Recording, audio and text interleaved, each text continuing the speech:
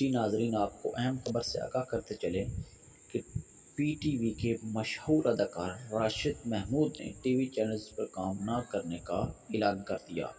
आखिर उन्होंने ऐसा क्यों किया? आइए आपको उन्हीं की ज़बानी सिर्फ़ और सिर्फ़ बरखा टीवी पर दिखाते हैं। अस्सलाम जी, मैं राशिद महमूद।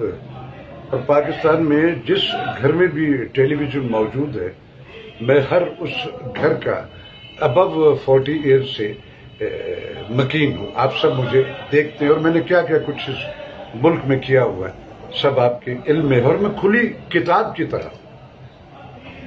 दो बरस हो गए, कोई काम वाम पीटीवी का, कोई बात नहीं है। नहीं, अभी आप ने सारे काम बंद कर दिए तो चलो, हमारा भी बंद है तो हमें क्या फ़र्क पड़ता है?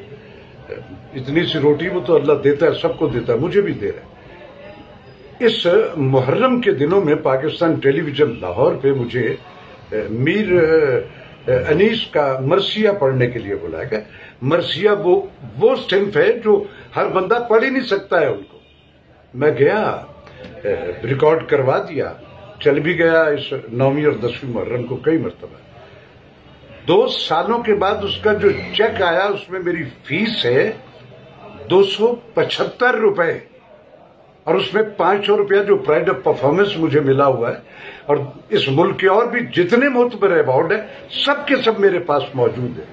इस आलम पीरी में इस नए पाकिस्तान में ए, मेरा ये मदर इंस्टीट्यूट जो है ए, ये मेरी इंसल्ट करेगा और ये एटीट्यूड दे, देगा मुझे।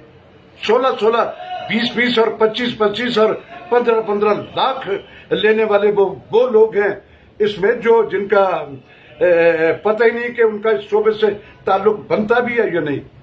मैं आज ये ऐलान करता हूँ कि आइंदा मैं पाकिस्तान टेलीविज़न पे काम नहीं करने